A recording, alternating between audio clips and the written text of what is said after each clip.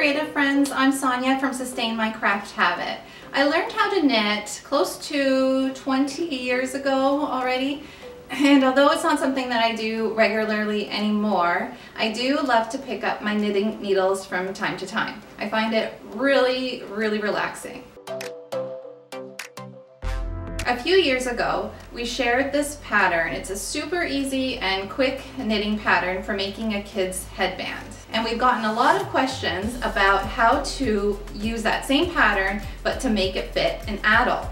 So I'm going to show you today exactly how to do that. It's a really great pattern because it's perfect for beginners. It knits up super quick. I'm able to knit the adult headband in 45 minutes to make this knitted headband, you will need some yarn. And we recommend using this Wool Ease Thick and Quick yarn by Lion Brand. It's a nice, super bulky weight of, of a yarn, which is one of the reasons the knitted headband knits up so quickly. So I have two colors here. I'm gonna use this really nice, soft I think it's oatmeal color. Uh, I'll have to double check that. Uh, but this is just to show you the label. So I'm gonna put this black aside. You'll also need a pair of knitting needles and you'll need size US 13 9 millimeter. I have a pair of circular knitting needles, although you it's really best to use a pair of straight needles. I just can't seem to find my straight needles. So I'm gonna treat it, even though I'm not knitting on the round, I'm gonna treat it as if the, it were a pair of straight needles instead. So you're gonna need some scissors to cut off the ends. You'll need a darning needle to knit in the ends of the yarn and a button, actually probably two buttons um, as well for decorative purposes. You're gonna stitch those on top of the, the headband. So now that we have all of the supplies, we can get started with our knitting. To make the adult size headband, I'm going to start by just moving aside my scissors and buttons and all of that. I am going to cast on 44 stitches. I prefer to use the long tail method for casting on, but you can do so however you feel most comfortable. So I'm starting about here.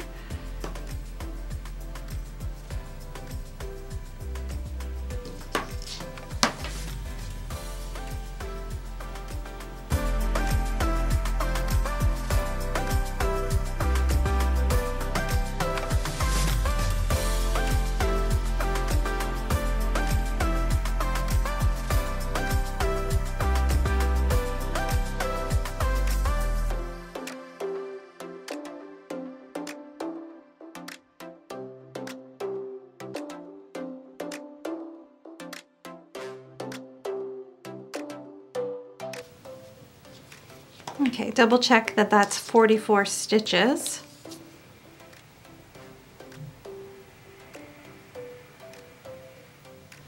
Okay, so now to start, I'm going to flip my work over and I'm going to start with a two by two rib pattern. So I'm going to knit to these two stitches and then I'm going to purl these two stitches, knit to these two, purl these two and all the way to the end of the to the end of the row. So this is my first row. So I'm gonna start by knitting. So I'm inserting my needle through the loop towards the back and then wrapping the, the yarn around the needle and pulling it forward. And then I'm gonna do the same thing with this stitch and then pull it forward. So now I have two stitches on this side, on this needle, and instead of knitting the next stitch, I'm going to purl it. So I'm gonna bring my yarn to the front and purl both of those stitches. So now I have four stitches on this needle. Continuing with the knit knit two, purl two.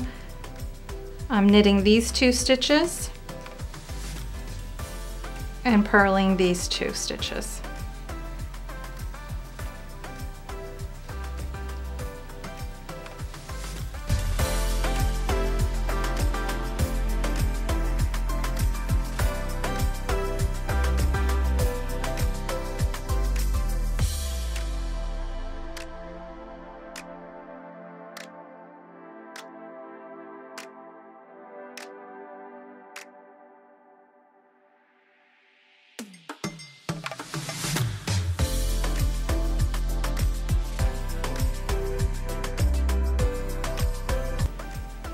Okay, so now I've come to the last two stitches on my row and they're going to be purl, two purled stitches. So one and then lastly again, put the needle towards the front of the loop and pull the yarn through and moving it over to the, the other needle.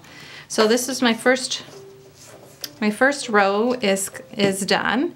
I'm going to now flip the work around and work on it from this side. So this will now become the wrong side.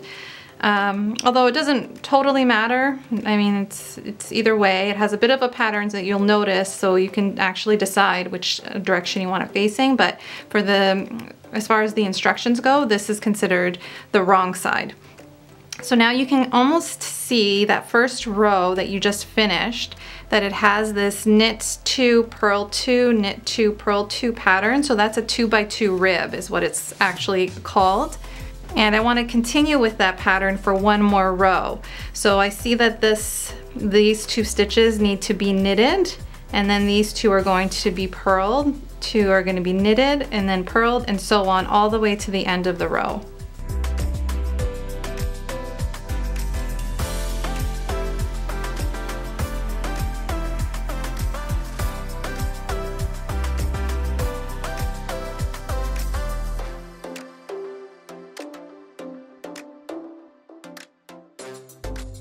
You find you're losing your place, you're miscounting, um, you can really see the difference between the knit stitching and the purl stitching. So the knit, you know that you need to um, place the needle through to the back and wrap.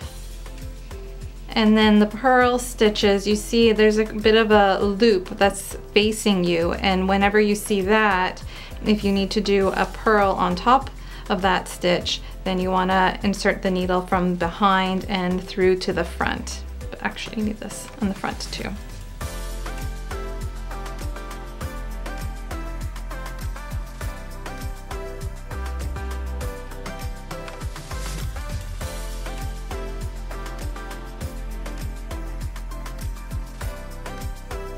Okay, so I have four more stitches. I'm knitting this and purling it. And that's it. So I just purled the last two stitches and that second row is is finished. So that was the, the wrong side of the work. So now I'm gonna flip it and again and work on my third row, which is gonna be my right side of the headband. Okay, so now for my third row, I am going to knit all the way across to the, to the end. So no more um, two by two rib pattern, it's just going to be a straight, um, straight knitting stitch or what they call a stockinette stitch all the way across. So I'm gonna take my knitting needles in hand and knit all the way across till I get to the end.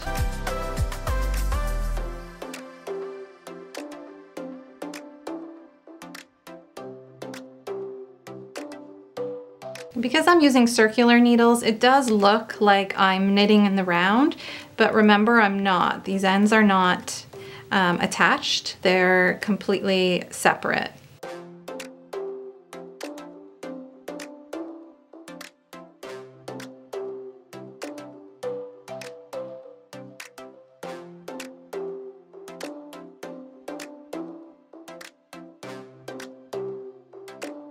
Okay, so that row is done.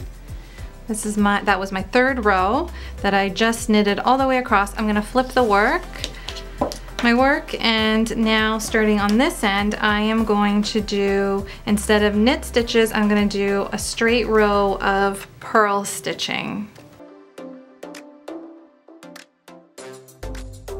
So purl these stitches, so from the back to the front.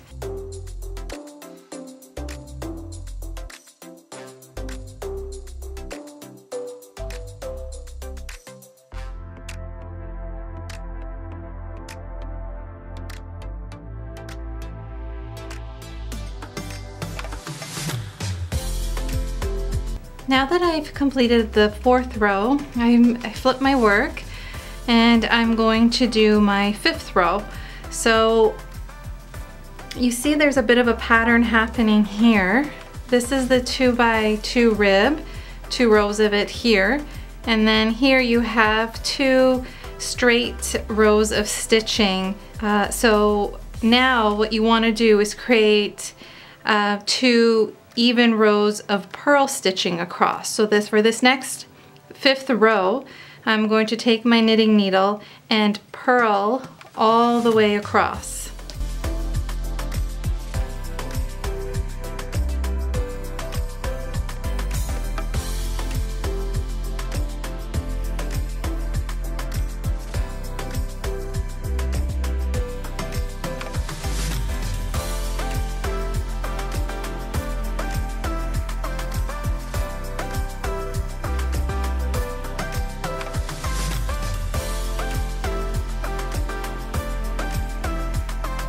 Okay, so that fifth row is finished and you see how it looks different from the, the previous row. So you have this, this entire row we just did is purl and then below it, it was knit.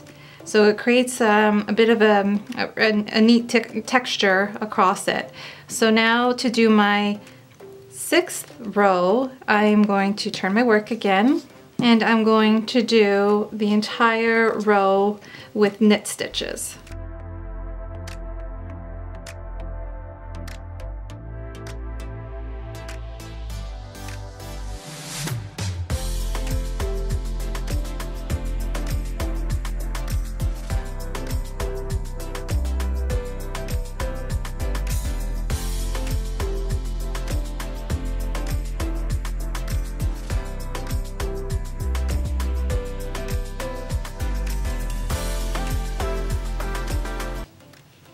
So that row is finished. And now I'm gonna flip the work again. So you have six rows here with two with the ribbing and then you have two, two rows here and then two rows here. This is where it gets a little bit different from the child's head, uh, knitted headband pattern. If I was working on the child headband, of course the cast on stitches would be less um, less, but uh, also at this stage, what I would do is my one, two, three, four, five, six, my seventh row, I would switch to knitting this row, but instead, because I'm working on the adult pattern and I want it to be thicker than the child's knitted pattern, knitted headband, I'm going to do another row of purl stitching all the way across. So my seventh um, row of stitching is going to be purl stitches.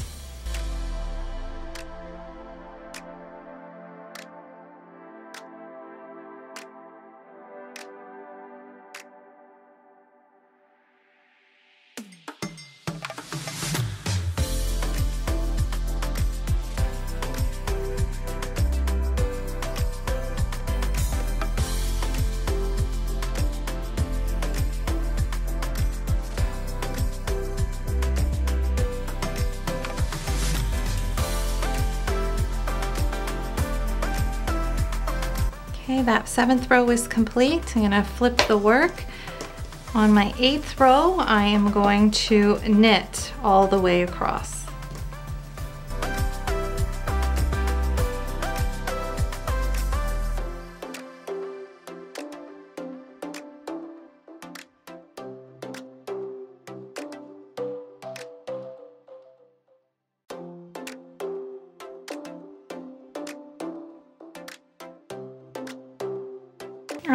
That row is finished. That would be the eighth row. I'm gonna turn the work now to continue and I'm going to do my ninth row, which you see the pattern that it's creating, this ribbing here. I have two, two straight rows of stitching here and then I have four straight rows of stitching here on the reverse. So these are all purl stitches, these are all knit stitches. So for this next row, which would be row nine, I am going to, instead of continuing with a purl stitch, I'm going to knit this ninth row um, all the way across. It's all gonna be knit stitches.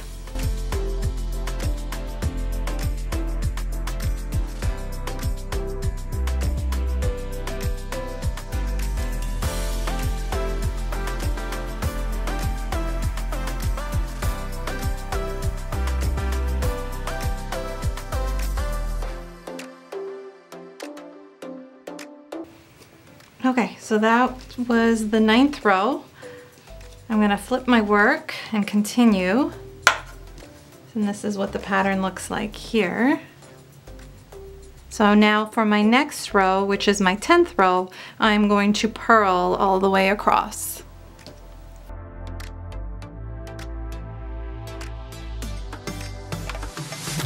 Yeah, so this 10th row is the last row of straight stitches. So once I'm done this row, I'm gonna turn the work around, flip the work, and then I'm going to do my two by two ribbing pattern to finish off the headband.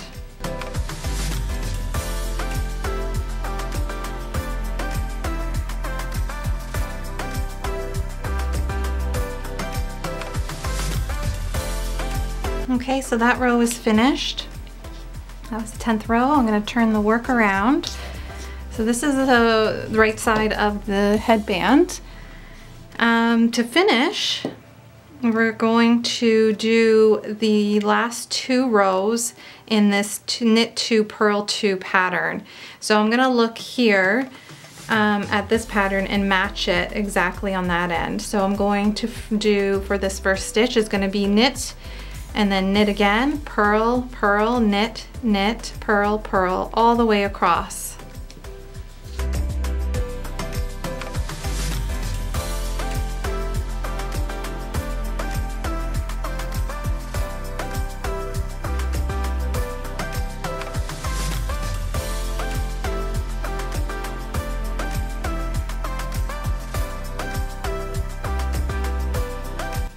For the last two stitches, they're gonna be purls, purl stitches, like that. So that's that row, and then flip the work and repeat that two by two pattern um, for the, the final row before binding off. So I'm gonna look at this, um, these two stitches, and I'm gonna do knit, knit, purl, purl, knit, knit, and, and so on.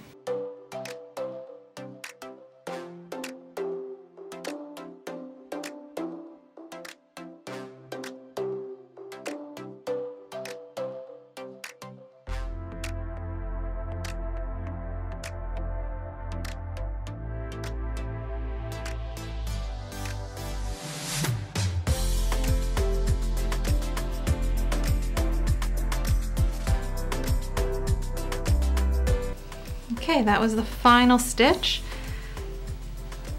of my headband. And now I'm gonna flip the work and I'm going to uh, bind off uh, off of the, the knitting needles. Using a really loose bind off, binding off, uh, because you wanna be able to um, allow the edges to stretch as much as possible. I'm going to uh, work the needles all the way across. So I'm gonna knit these two stitches and then very, very loose. And then I'm gonna grab the this first stitch and, and uh, loop it over the second stitch. And then I'm gonna continue all the way across. Knit very, very loosely and then pull that over that stitch. So you're only gonna ever have one stitch on. For the most part, you're gonna just have the one stitch remaining on this needle as you work your way across.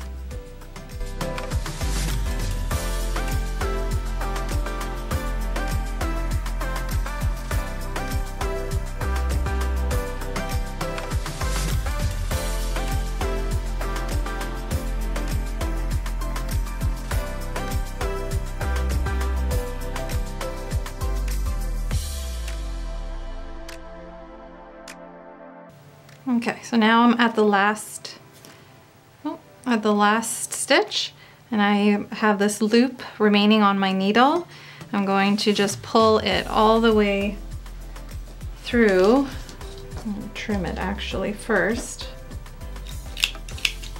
Cutting the end of the yarn, I have a little bit left over and now I'm just gonna pull that through and then that locks it and there's the finished headband. So my last um, the last few things I need to do with this is what I like to do if it's like really kind of curly and, and like wonky, I will uh, take my steamer from my iron, uh, well, my iron with the steam setting and then just give it a bit of a quick steam and then just kind of that helps to shape the, the, the piece um, to what you want it to be. And then once that's done, I will take the ends and work in the long yarn ends with my darning needle and wrap the headband around securing the, overlapping it about an inch and then securing the ends together. So attaching the ends together to give me my headband.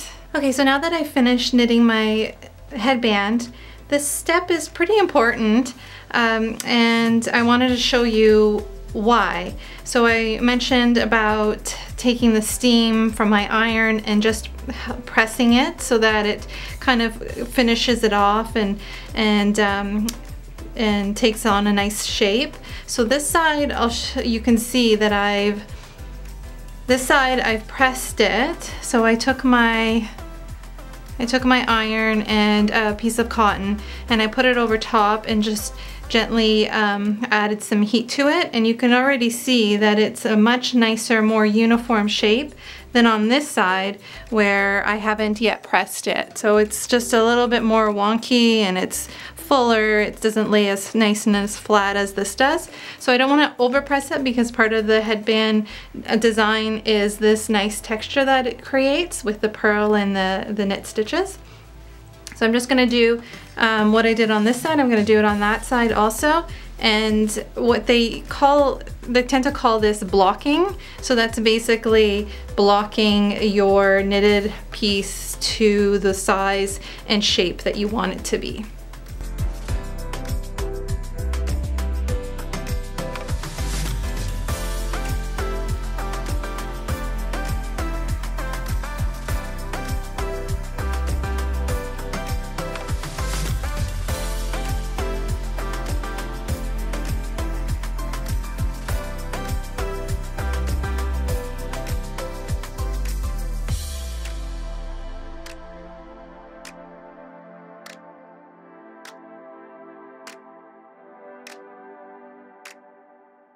Okay, so with this other end, it's pretty long, so I'm gonna use it to stitch the two short ends together.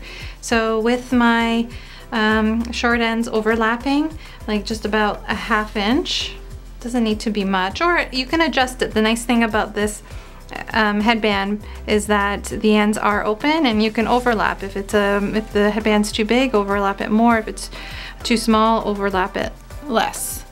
I'm gonna overlap these ends by about a half inch. I'm gonna do it in a way that the stitching is not so visible.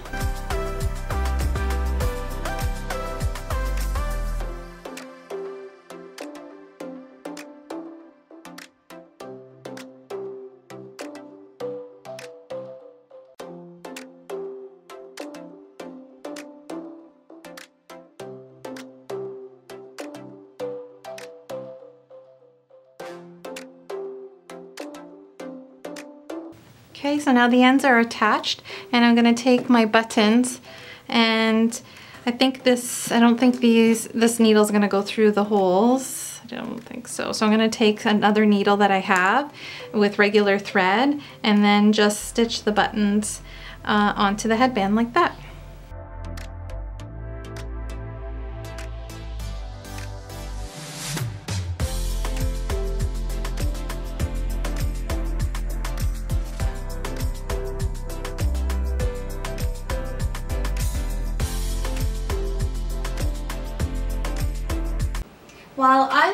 Knit, my sister on the other hand loves to crochet. So between the two of us, we've got knitting and crochet projects covered on the blog. We have a pattern for making this really pretty and multi-versatile knitted cowl. We also have a pattern for making uncrackable knitted eggs, which are perfect for Easter. And as for crochet patterns, we have this super easy crochet coaster pattern, this really pretty pillow in a sand dollar pattern, and we even have a simple crochet dishcloth pattern. So be sure to check out those projects for more details. And did you know you can make your own yarn? Well, we'll show you how in our other video on how to make t-shirt yarn using the whole t-shirt. So zero waste, we use as much of the t-shirt as possible. So that video has over a million views, so be sure to check that out. Hope you enjoyed this video. Thank you so much for watching. Remember to subscribe to our channel and happy knitting!